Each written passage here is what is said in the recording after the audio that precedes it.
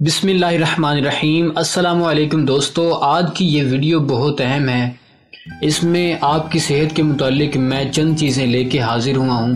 امید کرتا ہوں کہ یہ چیزیں آپ کی پوری زندگی آپ کو بہت زیادہ فائدہ پہنچائیں گی۔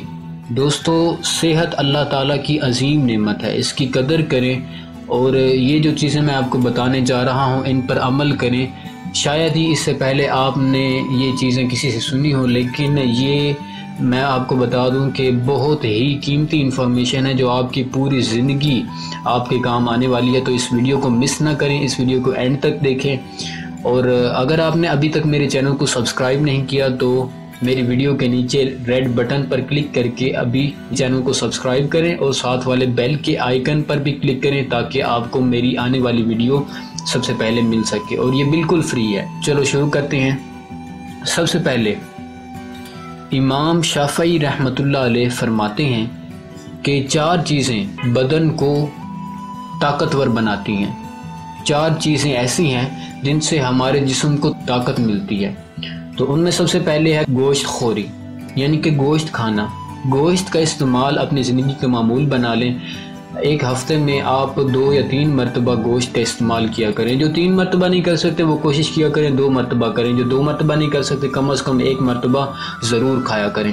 اس کے بعد دوسرے نمبر پہ خوشبو سونگنا۔ جی ہاں دوستو، خوشبو سونگنے سے بھی ہمارے جسم میں طاقت پیدا ہوتی ہے۔ خوشبو لگانا اپنی زندگی کا معمول بنا لیں۔ جمعے کے دن خاص طور پر خوشبو لگانا سنت بھی ہے اور ہم ہمارے پیارے آقا حضرت محمد صلی اللہ علیہ وآلہ وسلم خود بھی خوشبو لگایا کرتے تھے۔ تو تیسرے نمبر پہ جمع کے لیے بکثرت غسل کرنا۔ دوستو، غسل کرنا اپنی زندگی کا معمول بنا لیں۔ روزانہ ایک مرتبہ ضرور غسل کر لیا کریں۔ اس سے آپ کے جسم میں طاقت پیدا ہوگی، آپ کا جسم طاقتور بنے گا اور بیماریوں سے آپ بچے رہیں گے۔ اس کے بعد چوتھے نمبر پہ کتان کا تیار کردہ لباس زیب تن کرنا۔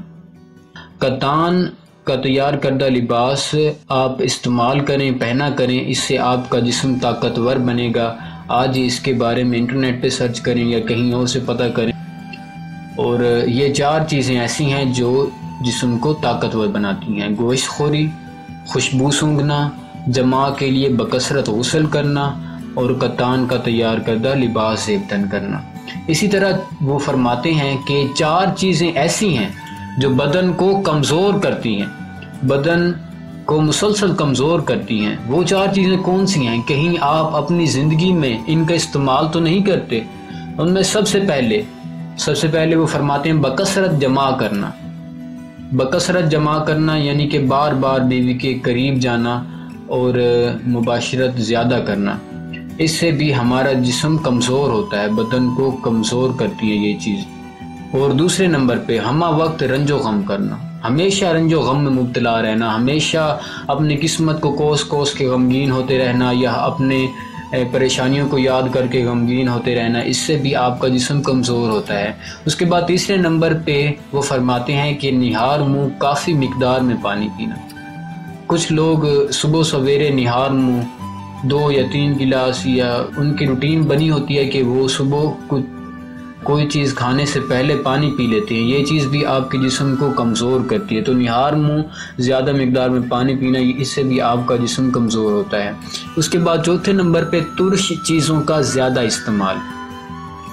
دوستو، کھٹی چیزوں کا استعمال بھی آپ کے جسم کو کمزور کر سکتا ہے۔ یاد رکھیں، یہ مردوں کے لیے ہے۔ مرد اگر ترش چیزوں کا زیادہ استعمال کریں تو ان کے لیے کمزوری محسوس ہوتی ہے۔ جبکہ عورتوں کے بارے میں یہ تحقیق ہے کہ وہ اگر ترش چیزوں کا استعمال کریں تو ان کو طاقت ملتی ہے۔